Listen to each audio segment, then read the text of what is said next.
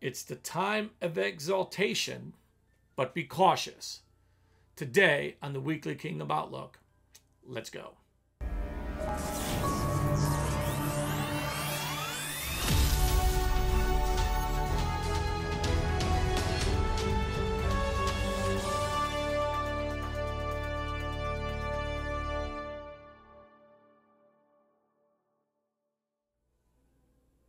Hey folks, Apostle Louis here with you. So glad that I have this time with you. I want to talk about something very important.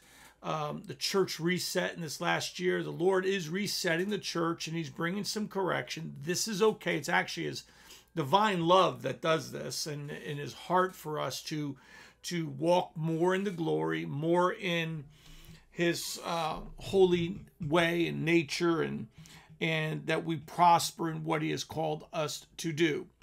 And this morning, uh, as I was reading and and praying and just uh, studying, I got. Um, if you haven't seen it yet, there's a uh, another book of the Bible uh, by uh, Brian Simmons, Passion Translation, Joshua Judges, and Ruth is out. Uh, before I go any further, though, let me just tell you where you can find me. Obviously, on podcast Look me up. You'll find Louis DeSiena Ministries in there. You'll find me on Facebook, whether it be Louis DeSiena Ministries or the Gate Church. You'll find me on YouTube, Louis DeSiena Ministries or the Gate Church. And you will find me on Rumble under Louis DeSiena Ministries. And you will also find me on Locals, thegatechurch.locals.com. You'll find me there. And then you will also find us on the Gate app. So you can get us there. Just go to the Play Store of Google or app uh, Apple and look up the Gate Church. Look for our logo in the Gate Church. Look for my mug somewhere in there, and and you'll have the right app. And so there's a whole bunch of stuff I put on all those different platforms. So uh, go ahead and do me a favor, subscribe, turn on the notifications, share the post with people, help us get the word out. All right. Oh, God, God, I gotta get that out of the way because if I don't, folks, I'll tell you, I just forget it at the end. Of course, I then I got forgot always louisdesiena.com, where you'll find course lessons, uh, free stuff in uh, courses that you can purchase, sign up for my email list, all those things, and you can give if you'd like to support us there. Okay.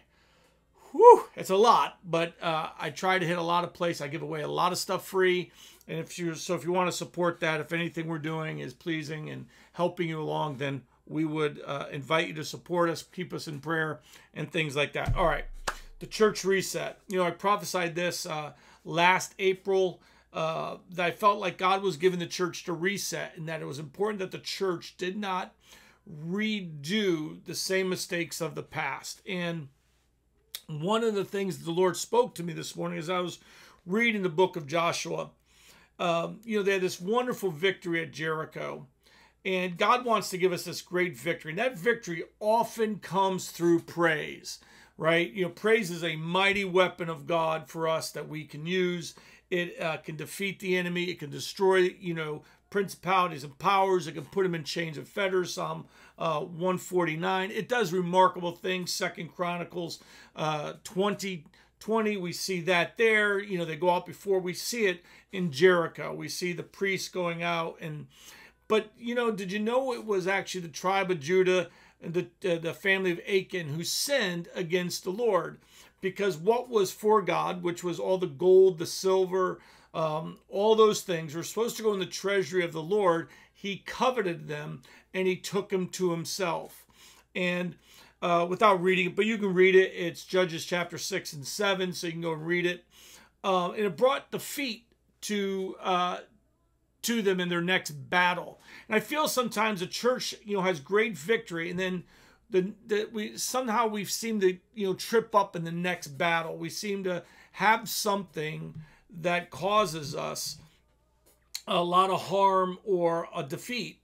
And I feel that one of the things that will do that, and listen to me and hear my heart, because this is not pointed at anyone, it's pointed at everyone, not just anyone, but everyone that there are times when there is praise given to God that sometimes we end up praising ourselves or we direct that praise to us. Now, I am all for God exalting people, and that is, and we have to have a lot of room for that because a church has no room for the exaltation of people. We see in just even in the story of Joshua how God exalted him in front of the people. But you see, Joshua's heart was not that he wanted to be exalted. That wasn't Joshua's posture. Joshua's posture was how does he serve God and these people and lead them into victory? And you have this one family, one man who covets, and he says this When I saw among the spoils of the beautiful Babylon garment, 200 shekels of silver, and the wedge of gold weighing 50 shekels, I coveted them and took them. And there they are hidden in the earth in the midst of my tent with the with the silver under it. You know, so what, what you actually see here is that the gold, the silver, all this stuff was for God. We, by the way, you see this even um, uh, in the um, book of Nehemiah that there's a storehouse that's supposed to keep all the offerings for the priest, and they actually clear it out and they give it to uh, one of praise. They they literally substitute what was for the priest, and this was sin at that point because now they were they weren't taking care of the priest, and uh, Nehemiah has to deal with it. That's for another lesson. You have to understand what God has ordained. God has ordained. When we go when we go uh, waka waka waka with it and go off course, it creates trouble uh, in the camp. And I, am telling you, God wants to take us as a church, as not just a Gate Church, as a church, let's say the church in Jacksonville, I believe the church in Jacksonville and around the world is about to hit its finest hour in my lifetime. I believe the glory is here. I believe uh, the presence is here, and it's how we steward it and be cautious not to take the praise to ourselves. Now, let me tell you, God will provide, God will even enrich, but be cautious that you are talking to the Lord and obeying what he tells you to do. And the, the clear thing here was Achan disobeyed the word of the Lord. You know, and, you know, a lot of times our own hearts can betray us. He coveted, his own heart betrayed him, and it caused him, huh, uh, you know, verse 25 of chapter 7. And Joshua said, Why have you troubled us? The Lord will trouble you this day. So all of Israel stoned him with stones, and they burned them with fire after they had stoned them with stones. I mean, that, that you know, that's brutal, isn't it? But, you know, uh, what you have to understand is your sin, your decision to, let's say, direct praise to yourself or bring the attention upon yourself, your desire to do that can actually uh, direct God's praise that was for God, and you're turning it to you, and there's a price for that. It, you have to be so faithful in the glory that you understand the, He is the glory. You understand He is the presence, and that you get to abide in it. You get to um, uh, rest in it, and He rests on you. But you have to remember that when everything's said and done, God be the glory, right? God be the glory. And and when you do that well, God begins to prosper you. And just let him do it. God's going to begin to prosper people because they're going to do it the right way. But I feel that um, sometimes the church gets into a tendency to worship how they worship. You, you understand what I'm saying? Man, worship was awesome this morning. It was so off the chart this morning. Man, we really, man, that was awesome. We really did a good job. Just, it, I don't want anyone to beat up each other. I'm just telling you to be cautious of being more proud. Let God give you praise. Let others give you praise. Don't praise yourself. Let others do it. You know, let others, and then just say thank you. And what you do when someone comes and gives you praise, you go, Lord, it was you. It wasn't me. Just say thank you.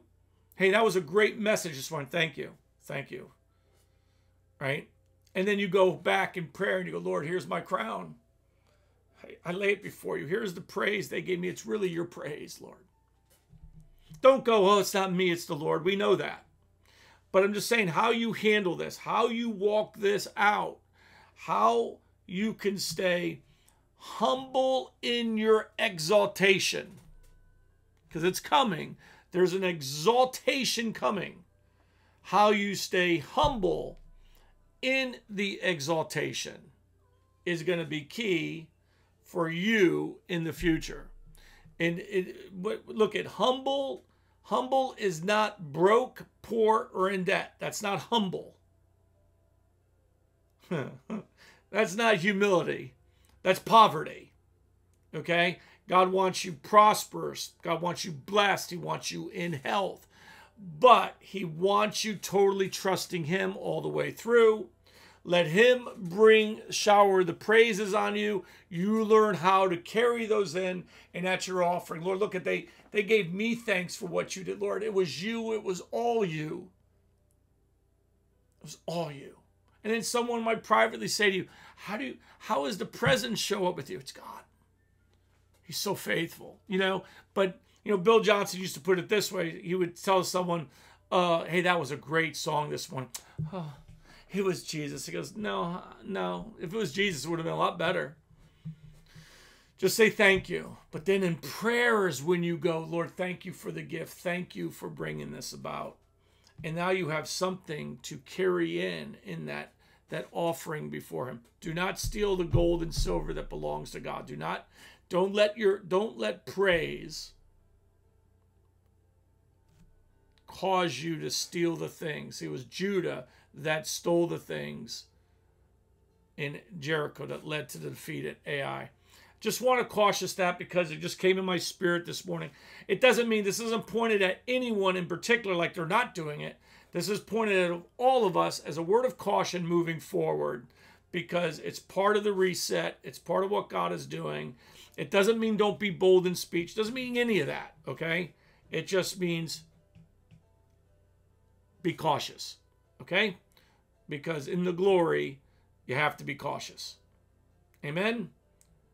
Amen. I love you and I don't mind sharing that truth with you.